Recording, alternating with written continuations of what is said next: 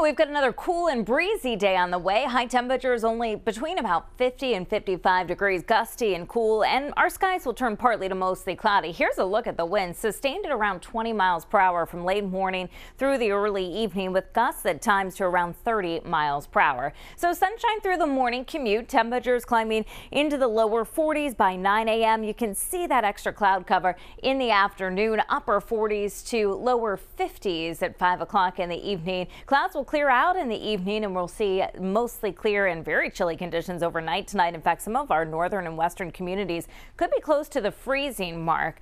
It's going to be a day very much like today for tomorrow. Highs in the lower to mid 50s, brisk winds, sunshine in the morning, some partial cloudiness in the afternoon, and one more day of that on Saturday before we warm up on Sunday. And you can get all the details on the full forecast on Fox Providence and WPRI.com. Have a great day.